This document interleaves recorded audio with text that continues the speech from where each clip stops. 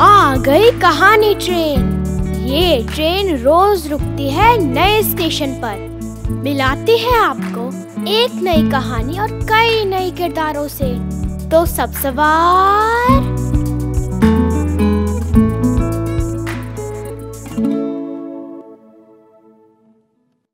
हमारी आज की कहानी है एक तारा प्रकाशन से। स्वर्ग और नर्क। इसे लिखा है असगर वजाहत ने। पापा टीचर बता रहे थे कि मरने के बाद अच्छे आदमी स्वर्ग में जाते हैं और बुरे आदमी नर्क में जाते हैं। हाँ बेटा, यही है। सही बता रहे थे। जो अच्छे काम करते हैं, वो स्वर्ग में जाते हैं, जो बुरे काम करते हैं, वो नर्क में रखे जाते हैं। स्वर्ग में क्या है पापा?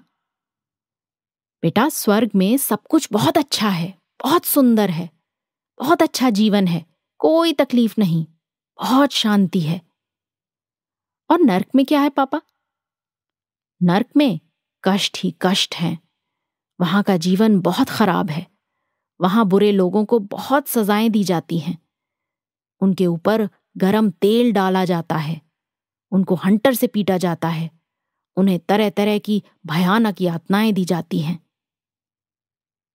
तो पापा, आपने स्वर्ग, नर्क दोनों देखे हैं? नहीं बेटा, मैंने स्वर्ग और नर्क नहीं देखे हैं। तो आपको कैसे पता कि वहाँ क्या होता है?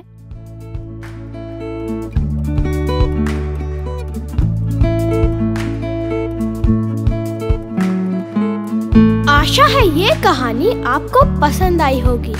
ये कहानी आपके लिए लाए रेखता, नई धारा और प्रथम।